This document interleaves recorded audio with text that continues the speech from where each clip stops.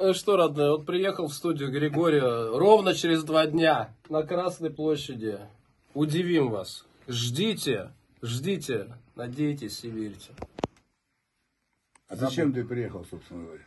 А, идите работать, что вы? Я уже все сказал, кстати. Вы должны были еще вчера приехать. Ну, ты был вчера занят. Сегодня приехал, работай. Я и сегодня тоже занят. но Ничего я- страшного. Это работает. Работайте немножко. Вот мы и работаем. Вот и работайте. Не надо со мной пререкаться.